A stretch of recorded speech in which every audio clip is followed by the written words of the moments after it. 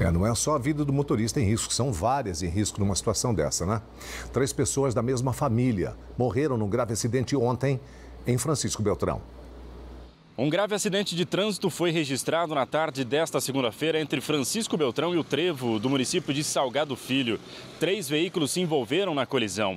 O veículo Palio acabou capotando e dentro desse veículo tinham três pessoas que foram vítimas fatais. O condutor do caminhão e também do HB20 envolvidos na colisão não tiveram ferimentos. Prontamente, a equipe do Corpo de Bombeiros atendeu a ocorrência.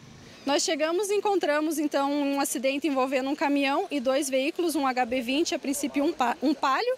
É, esse terceiro veículo ele está bem destruído, então é difícil de verificar né, as condições dele e até mesmo a questão das vítimas.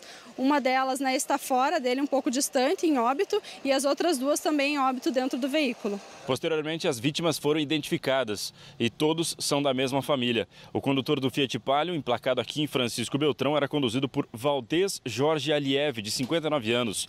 O condutor e as passageiras Marilena Veiga, de 54 anos, e a filha Daniele Paim, de 27, não resistiram à gravidade dos ferimentos e foram trazidos para o Instituto Médico Legal aqui em Francisco Beltrão.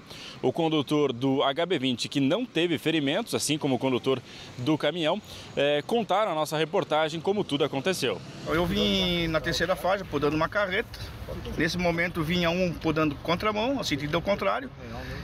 Para mim não bater de frente com ele, tentei puxar o que pude para cima do caminhão, acabei resbalando no caminhão, vinha rodar, peguei ele também, lado esquerdo, ambos os veículos e ele vem a rodar na pista e o, a carreta bater nele.